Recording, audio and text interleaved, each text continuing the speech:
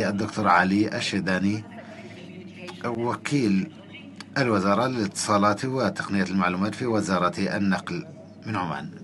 شكرا لك. اسمح لي في البداية أن أهنئ سدايا على على النجاح في عقد هذه الفعالية الرائعة القمة العالمية الثالثة للذكاء الاصطناعي.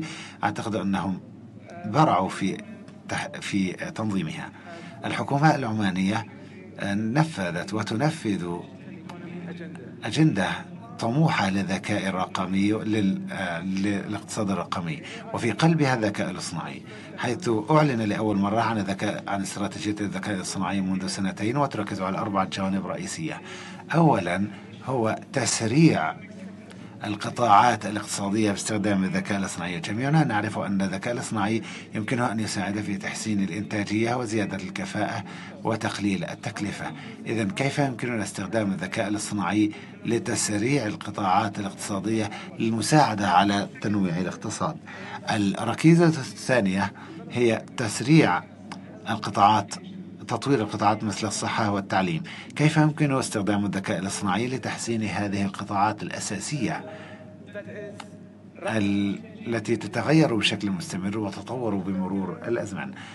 الركيزة الثالثة هي تمهير والتعليم وتنمية الشركات الناشئة. كيف نجهز الجيل القادم لثورة الذكاء الاصطناعي؟ والنقطة الرابعة والركيزة الرابعة هي أن الذكاء الاصطناعي أن يتم من خلال منهجية تركز على البشر وكيف يمكن لتطوير الذكاء الاصطناعي بطريقة قابلة للتفسير وأن تكون مركزة أكثر على البشر وعلى الإنسان وأن تكون مفيدة للعرق, للعرق البشري. كل هذه الركائز الأربعة هي جزء من استراتيجية عمان للذكاء الاصطناعي وقد وضعنا عدة مستهدفات أردنا أن نحققها وهي زيادة الاستثمارات في الذكاء الاصطناعي زيادة عدد الشركات الناشئة في الذكاء الاصطناعي وزيادة المخرجات الاقتصادية في الذكاء الاصطناعي. عندما يتعلق الأمر بتشريع الذكاء الاصطناعي فإن عمان لديها منهجية متوازنة بين ابتكارات الذكاء الاصطناعي وتنظيماته وتميل أكثر إلى التمكين وتمرير الطريق للأمام لابتكارات الذكاء الاصطناعي.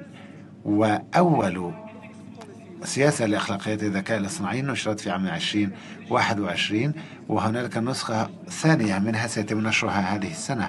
لكن في هذا الوقت تقريبا نشرنا مشورة عامة لنحصل على التغذية الراجعة من المجتمع المحلي ليساعدنا في تحسين سياساتنا. كما أننا نعمل كذلك بعمل دؤوب مع الجامعات لوضع هذه السياسات لدينا اثنتان من الجامعات الب...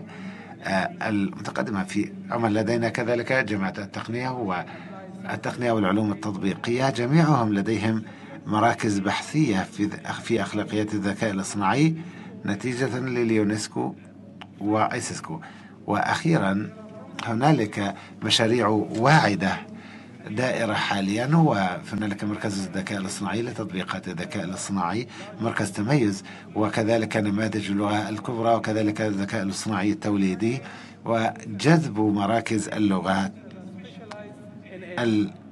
المتخصصة في هذا الأمر. كل هذه الجهود وضعت معا لنا لكي نستفيد من هذا التوجه توجه الذكاء الاصطناعي ونفيد الاقتصاد ككل. شكرا جزيلا.